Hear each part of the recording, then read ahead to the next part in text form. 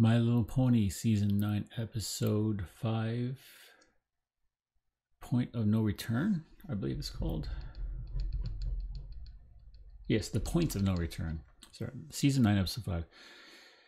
Let's give it a watch. I haven't seen this before. It's going to be a completely raw review, reaction, whatever you want to call it. Uh, hopefully you enjoy it. Hopefully I'll enjoy it. I've, I've, fortunately, I don't get a lot of people spoiling things. I've heard some people say, "Oh, new episodes out," but then I make sure I cut that off quick. So let's see what it's like. Hopefully it's good. I, I'm sure it's good. Oh,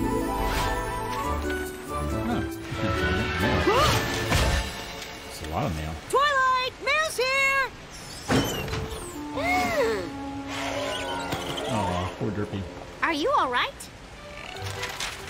We just had a really heavy delivery Wait. Today. Her eyes. Is it a deluxe set of special edition ogres and oubliettes figurines that I'm totally surprised by and haven't been hinting straight. that I need forever? Well, it's for Twilight. Thank you. You're welcome. Okay. Huh. It's from Princess Celestia. She's cute. So's this. Really? She couldn't have put it into the box?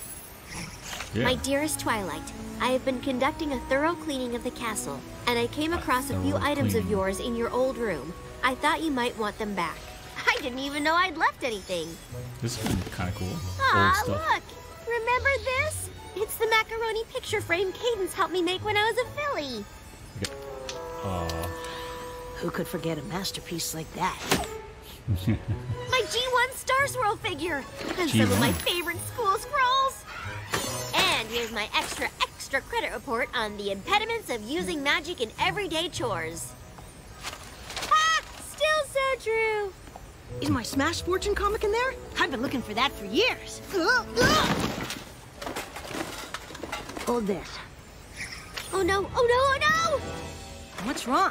It just looks like an old library book. Exactly! It belongs to the Canterlot Library. That means it's... Overdue.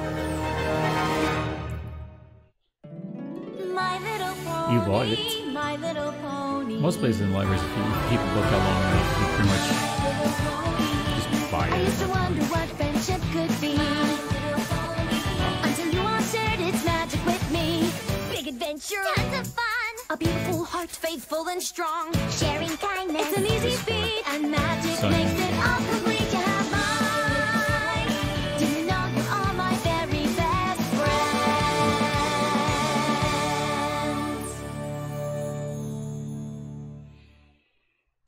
she's watching this. You don't understand, Spike. I have a perfect library book return record. Had a perfect record. Oh, I've never turned in a book even a minute late. And this one has been overdue since I She left for time travel? Ponyville. Bring it back. Uh, imagination again.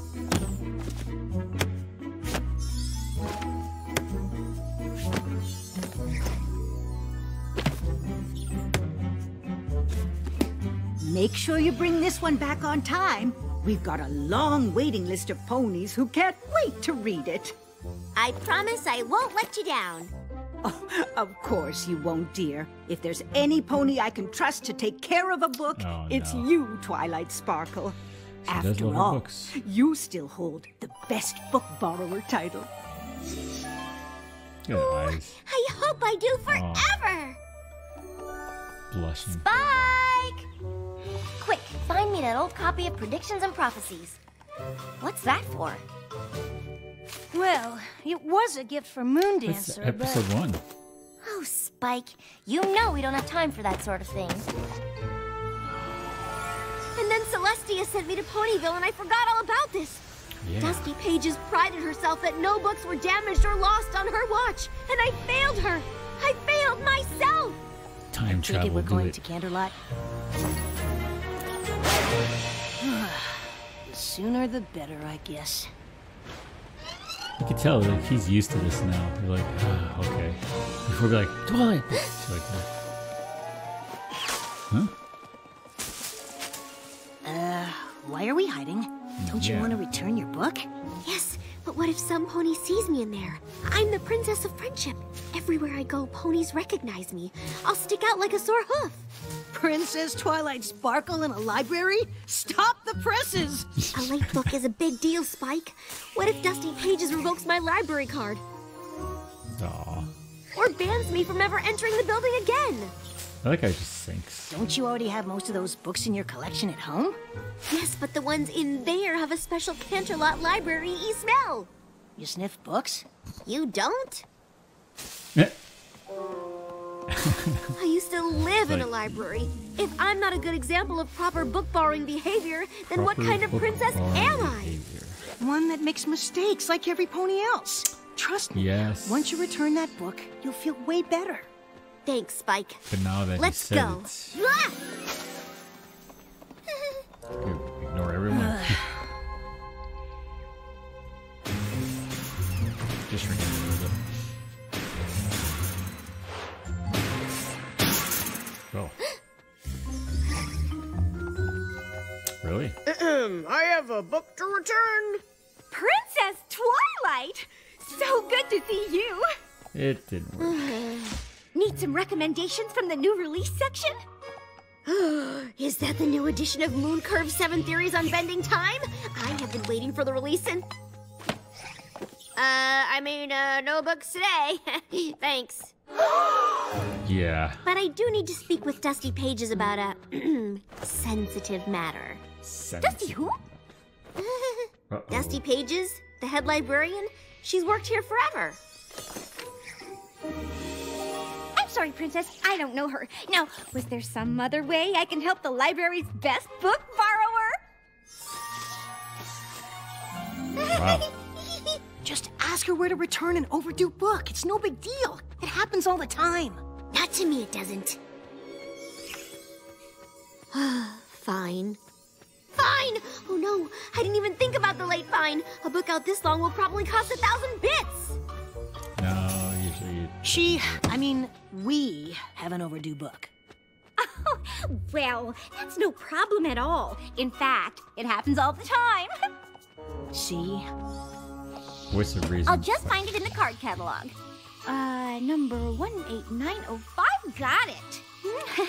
oh, wow. Yeesh. I haven't seen a book this late in, well, ever. Ooh. You need to go and see First Folio in the grossly overdue book return office for ponies who should know better. Don't pull any punches with those names, do you? And that office would be? In the basement. Because of the shame.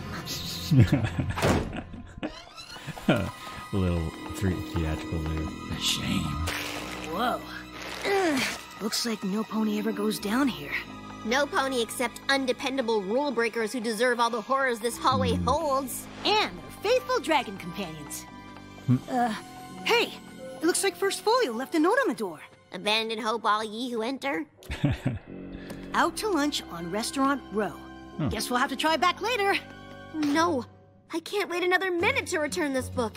In the time it took us to get there, I racked up another 17 bits in late fees. We're going to lunch. Good, because I'm starving. Oh, you mean to find First Folio. Can we at least get takeout?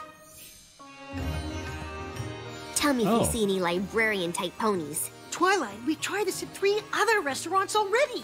And my late fines are already up another 26 more bits. Jeez, Twilight. Why Waiter, we're ready to order. Oh, uh, I'm not actually. Three samosas, two curry specials. Do you think that's enough for the two of us? Hmm. I would probably order some naan as well. For the table? Sounds great. Twilight? Is that you? Moondancer, how have you uh. been? I'm just visiting. No real reason. Well, it's good to see you.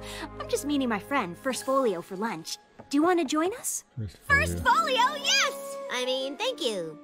Princess Twilight, good to meet you. Did you know your picture is still up in our library as the best book borrower? Yeah, I was hoping I could talk to Dusty Pages about that.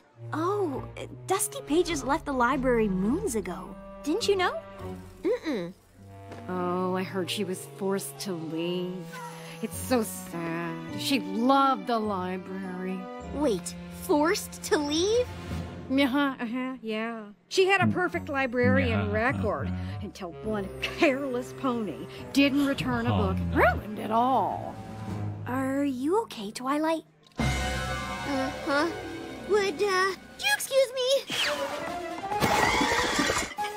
That's why you only order spicy if you can take it. Twilight, what's wrong? Dusty Pages isn't He is- working at the library anymore because I didn't return this book. Like, well, I'm not a I waiter, think but I got her fired.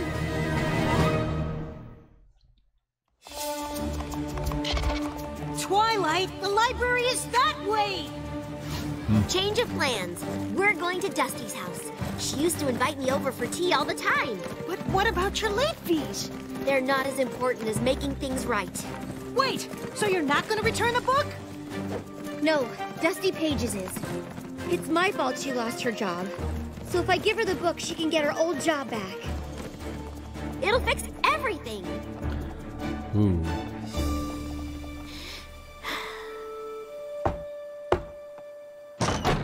Didn't you see the sign? No sales ponies. Oh, I'm not selling anything. No carolers either. No surveys, no petitions, no free literature. No solicitations. No problem. I'm just looking for some pony who used to live here. I'm pretty sure this was her house. Dusty Pages? Yes! Hold on. She moved to Silver something. Shoals, Seas, Surfer, whatever. When you find her, give her this. Ooh. It's been stacking up for years. And tell her to change her address.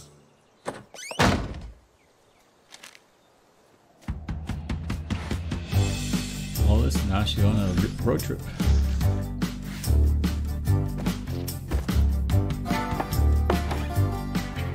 See some places around.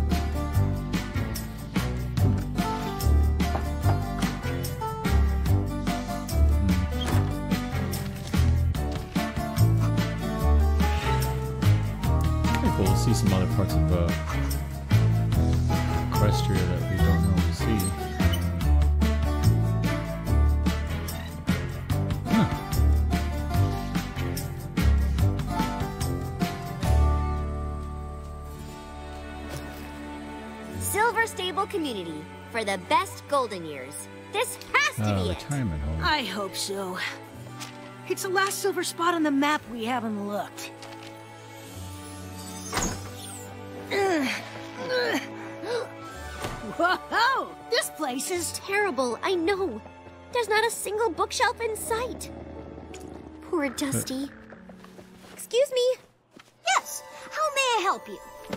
do you have a resident named Dusty Pages? Oh, yes. Her apartment is in the next complex, ground floor. Thank you. I wonder who she was. I can't believe that my carelessness sent her here when she could be happily surrounded by millions Uh. of wonderful smelling books. You realize that might just be a oh. you thing, right? Smelling There she is. Here we go. I'll save it till later.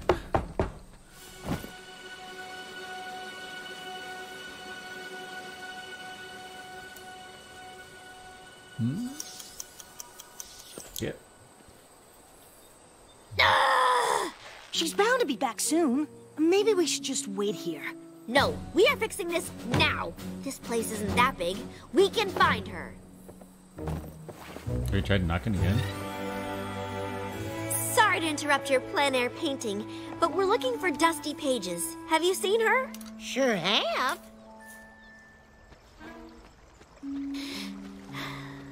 And She had to leave early to get to her Bangby de Tea session. Which is right before she leads the woodworking class with me. Then she's on to windsurfing. Oh, and don't forget theater rehearsal. Oh. Dusty's playing the lead role. Again. Then there's her band practice later. thank you. They're wow, busy. Dusty sounds like one busy pony. She's just filling her days with distractions to cover the pain of losing the best job ever. Okay, but not for long. Even Spike like. "Mhm."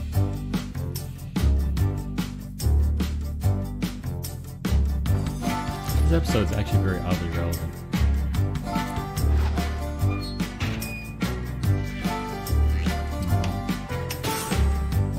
I recognize that guy.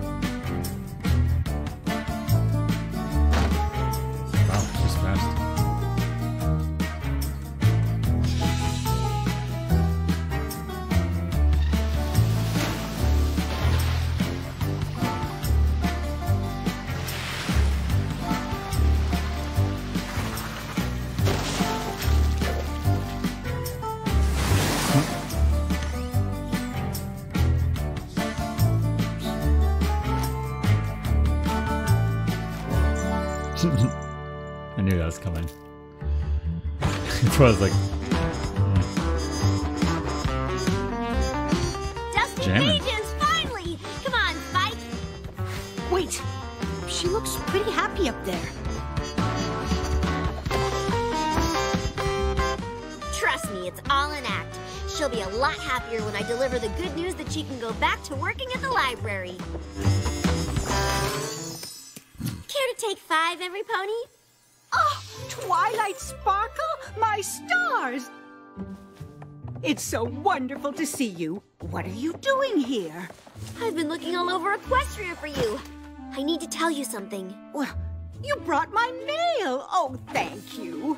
Oh, oh, No, I mean, yes, we did, but that's not why we're here. I let you down, and I can't forgive myself until I set things right. I don't remember you doing anything wrong. You told me to take special care of a book I checked out from the Canterlot Library, and I never brought it back.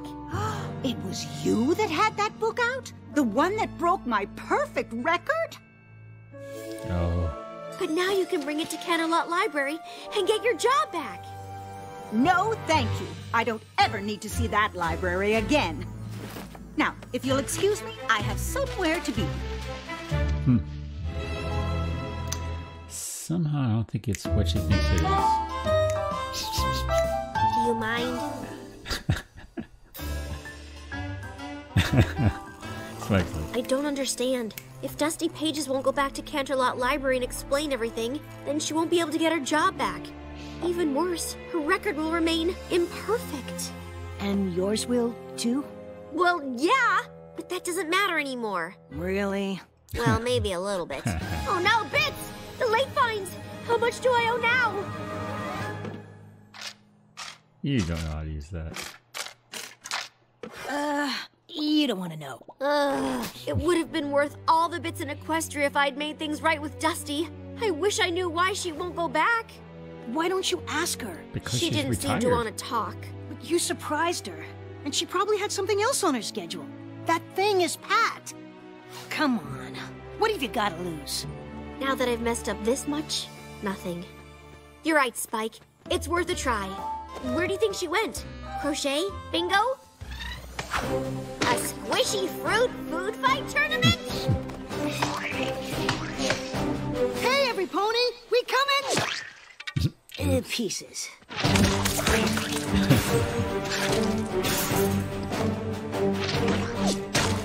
Stop! We just want to talk to Dusty Pages for a moment. Please?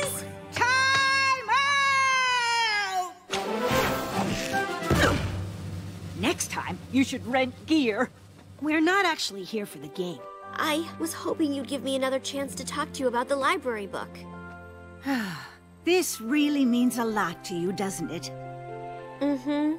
I know I ruined your life by not returning my book on time, and I will do anything I can to make it up to you. Even promise to never take a book out of the library again, if that's what it takes. That is not the reaction we expected. Twilight, dear, you've got it all backwards. I'm not upset with you. You're not? No. If I'm mad at any pony, it's me. Huh?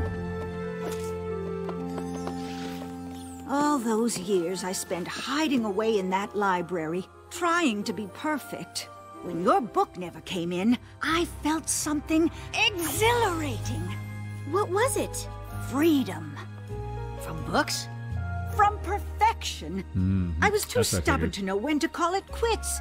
It took your mistake to make me realize feeling. that I wasn't living the life I wanted. All you too mean well. you weren't fired? You left the library because you wanted to? Twilight, your late That's what she's book was the doing. best thing that ever happened to me. Now I'm not afraid to try things I might fail at. In fact, sometimes messing up teaches me more than getting it right. Yes. You're sure you don't want to return it and get that perfect record back? Ah! Oh, good. It was a yellow one. You can still see the words. But it'll have a stain. Well, that doesn't change the truth inside it. Wait, did you even read that thing? Actually, uh, no. I guess I didn't. Perfection. And the next part? The impossible pursuit. Right. Oh, that might have been useful to look at earlier. Mhm. Your total late fees come to. However much it is, I'll cover it. Uh, do you have a monthly payment plan? 28 bits. That's it? Yeah, most ponies don't know it caps at a month. Probably because we don't tell them. That's Thank you. actually like Your most account libraries. is back to normal. Although we will be taking down your best book borrower picture. Um, is that really necessary? it just seems so permanent. I mean, I did return the book, after all. okay, letting the perfection go. You want me to reshelve this for you? No, it's an old edition. We've already replaced it with a new copy. In that case, can we keep it? It might be a good reminder to have around. You're sure? It's got a stain. That's what makes it perfect. Okay, that was a very interesting episode. Actually, uh, really connected to me on a particular level. And it's true what they say books do have a certain smell.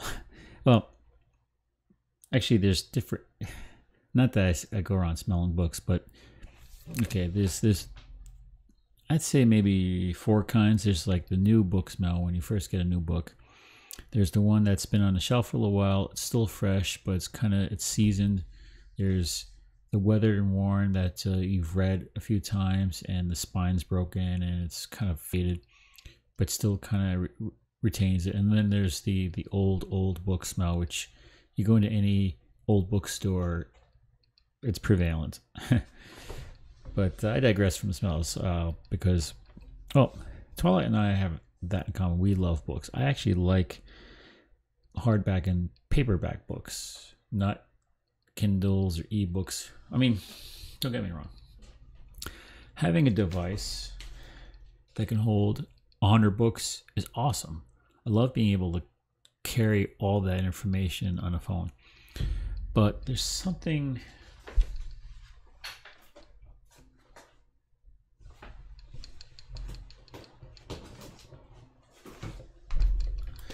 there's something different about a book. Oh, no, this is just like a, a, a ledger, not ledger. Um, a uh, actually, this is more like a diary book, but just something about having something to hold, a spine, a cover, a feel of it, being able to flip through the pages.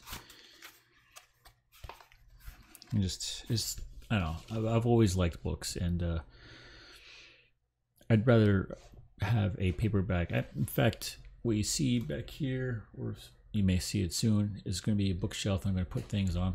Let me move this over here. Kind of get away. Um, yeah, so I want to put up some of my favorite books in there once I, if I ever get that done. If things kind of settle down here. Yeah, so I can relate to Twilight a lot with this. Uh, I've had I've had overdue book fees, and it's true. Most libraries I know that if if it's a certain past due time, you have to pay like uh, it's like basically like cost of the book, which is whatever the, the the cost is. So they, don't keep on racking up charges. At least most libraries I know are like that. and I do like how uh, when they went in the restaurant, uh, Spike was like, "Oh, I'm not, I'm not working here," but he just rolled with it, grabbed his his usual notepad and pencil that he always carries around for Twilight, and just started taking orders. And actually did a good job. He, hey, Spike ever wanted to do a side job as a waiter, he has another source of income if you want to cover all those book fee, late fees that Twilight's not going to rack up So this was an interesting episode because it's very Twilight specific. And I like how it's connected to the very first episode. This show, like in Spike with this package and like that, like that's a real good tie-in to way, way back. The librarian, and they actually used a, uh, you know, her friend's librarian friend, which is kind of cool, in the whole basement. So, I had fun with this episode. No, was like fantastic, like like crazy, wonderful. No, but it was a, it was a very good, wholesome episode with Twilight in it, and I like that because it's very. It's the show. It's how the show should be. So I'll wrap this up. It was a great episode. You saw my reaction to it, and tell you, from the beginning of the series, Spike always acting like everything's a shock and a wonder to like he's so used to it. Like almost every scene he's like, really Twilight, and he he's gotten a lot wiser. Like it's very subtle, but it's there. So I like that. He's he's definitely growing in, in his ability to uh, handle Twilight's freakouts and very wise to be able to uh, handle however she deals with certain things and her reactions to things and is able to step away for a second because he's so used to her being being away that initially he would react like oh this is something huge this is something bad. But then you realize like well she overreacts a lot. So let me just stop and wait and look back and just kind of let it roll out and see what actually happens. And he's able to think of usually now more than ever he's he's able to think of more rational as like well maybe it's this maybe maybe it's that he really is becoming a faith, true faithful companion. And it's helping her out a lot. And she's actually trusting him more on his ability to be able to see through her freakouts, her twilight and twilighting. So I like this. So I'll wrap this up and uh, try to keep it semi short. I don't want to spin off too long, but this is a really good episode. I like this. Uh, this so far the season's really solid. So I will see you in the next video and hopefully you have a wonderful, beautiful day. And I'll catch you guys later. Peace out.